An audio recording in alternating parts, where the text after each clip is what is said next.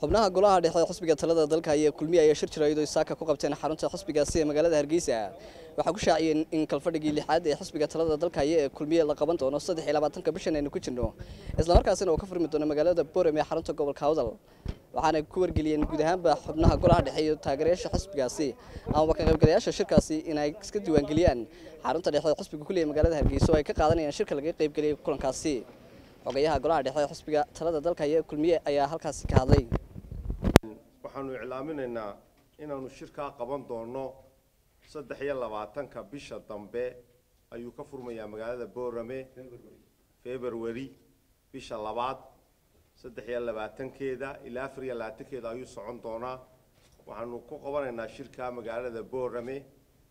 Waa kalfadhigii lixaad ee golaha dhexe uu yeesho. Sidaas awgeed waxaanu iskugu yeedhaynaa oo aanu maanta baaq u diraynaa xubnaha golaha dhexe ee xisbiga kulmiye meel kastoo ay joogaan inay shirkaa ka soo qayb galaan oo saddex iyo labaatanka bisha dambe ilaa afar iyo labaatanka ka furmi doona magaalada boorame.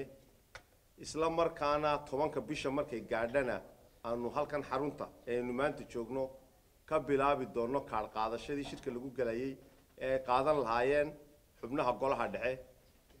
wixii ajanda ah iyo waxa kale laga hadlaayo wakhtigeeda ayay noqon doontaa. Maanta waxa keliya aan iskugu kenyaana waxa weeyaan inaanu baaq u dirno xubnihii golaha dhexe oo ay yimaadaan